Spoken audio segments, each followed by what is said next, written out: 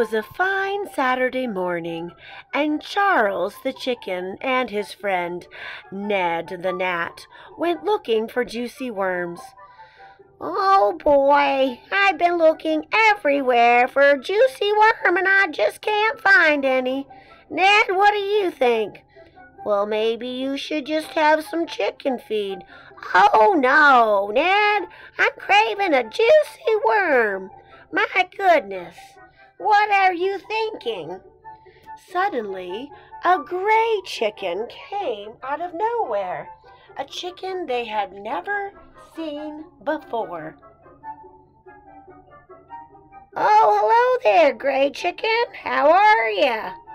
And the gray chicken pushed some leaves aside, revealing some worms. Oh, hey, thank you, gray chicken. What's your name? Gray Chicken didn't say a sound. Well, these look like juicy worms. Mmm, dig in, Ned. Um, I'm a bug. I don't eat other bugs. Uh, good point.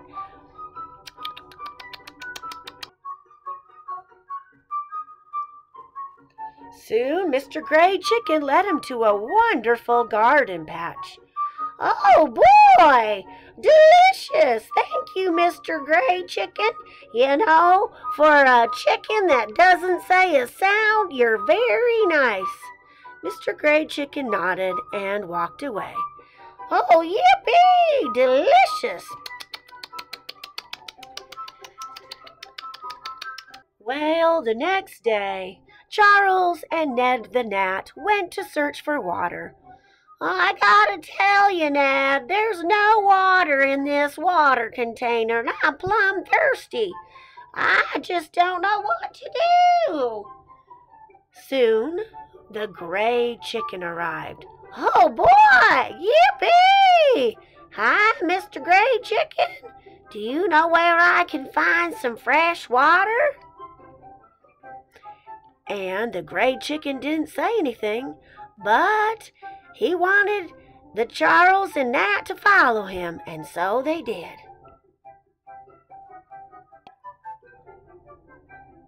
It wasn't long before a Gray Chicken brought them to a big puddle of water. Oh boy, yippee! Well, thank you, Mr. Gray Chicken. Wonderful! You know, for a chicken that doesn't say a single sound, you're the nicest chicken I know. And thank you very much. Oh, mm, I'm so thirsty. Thank you, thank you, Mr. Gray Chicken. And off Mr. Gray Chicken went. Oh boy, Ned, drink away. Mm-mm-mm. You know, Ned, we ought to do something nice for Mr. Gray Chicken. He's been so nice to us. Let's go off and make him a special basket of goodies. And so that is what they did. And they came back with a lovely basket full of vegetables, bugs, and worms, and all kinds of stuff. I hope he likes it. Boy, he's a good friend. And off they went. And it wasn't long before Mr. Gray Chicken came, and he loved his basket.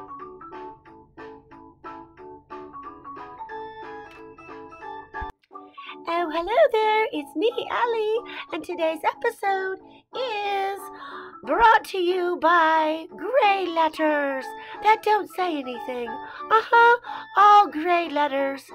Shh, don't wake them up. They don't say anything. Just like our gray chicken. Our gray chicken was a very nice chicken. Ah, but he never said a sound. Do you say sounds? No. Okay, thank you, Mr. Gray Chicken. You can see him, but he doesn't make a sound. Okay, and this is a word we've gone over way in the past.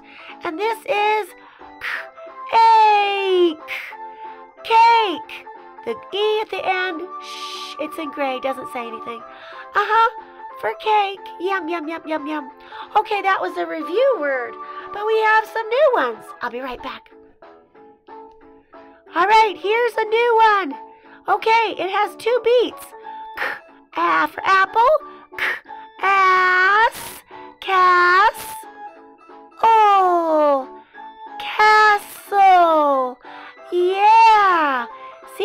Two gray letters, the T and the E. Shh, don't wake him up. Castle. I want to live in a castle.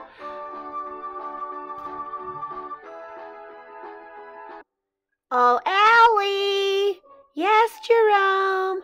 You accidentally put your book in the school's refrigerator. Oh, Jerome, it's a good book. You can read it. No, that's not what I said. Ellie, you put your book in the refrigerator. Jerome, that's a nice book. Yeah, that's a good book. Oh, Ellie.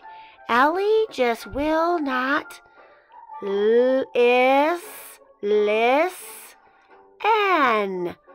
Listen. She won't listen to me. Uh huh. There's a gray letter. Shh, don't wake it up. Listen. Oh, I'm going to do some cooking.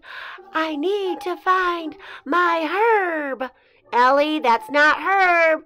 That first letter is in gray. Remember, we. Shh, don't wake it up, Ellie. Oh, yeah. Yeah, Jerome's right. It just says herb. Herb. Okay, I need to find my herb for my soup that I'm making, so I'll look in the fridge. So Ellie opened the refrigerator. Oh, Jerome, my school book is in the fridge. I tried to tell you, Ellie, but you didn't listen. Oops, sorry. Okay, goodbye. Hi, guys. It's time for letter art. Oh, yeah. Okay, so you remember our Mr. Gray Chicken from our story. Here's how you spell his name. G R A. This doesn't really say anything. It's in gray. Uh-huh. So, shh, don't wake it up. G R A. Gray. We're going to draw him. Uh-huh. So get out a dark marker, and here we go. All right, we're going to start with the top. And we're going to draw his little hat. Uh-huh. There we go. Nice. Okay, we're going to draw that little floppy thing. Uh-huh. And some little textures. Yep. Okay, now we're going to draw like the top of his head, his eyes. Go down a little smidge. Okay, big circle, half circle, dot, dot. Okay, a beak. All right, now we're going to do a little neck. Okay, go on the other side. It's got a skinny neck. All right, now we're going to loop around for his belly, his little tail feathers, and meet back up to the neck.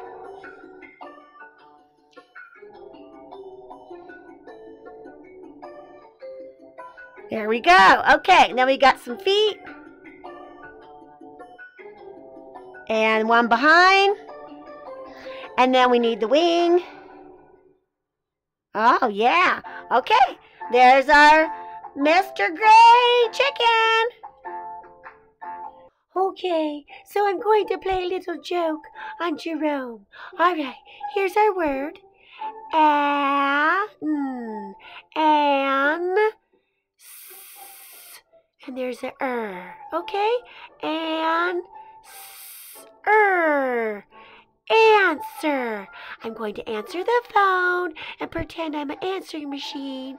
And so he'll get confused. Uh huh. Answer. That doesn't say anything. Shh. All right, here we go.